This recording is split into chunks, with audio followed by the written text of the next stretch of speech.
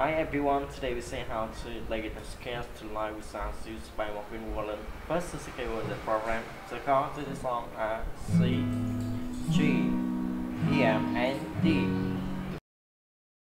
First, we play down, down, up, up, down, down, down, down, down, up, down, down, down, up. And to along E, M,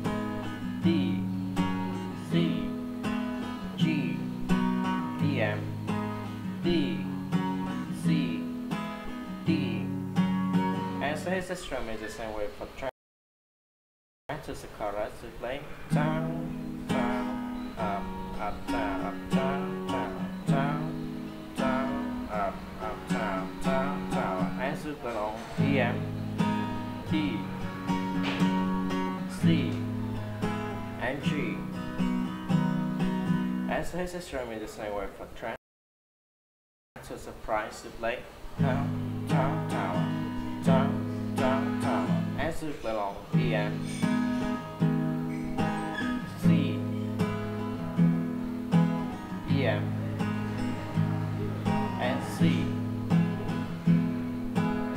And so his strum is the same way for track. Thank you for watching and see you again. Alright?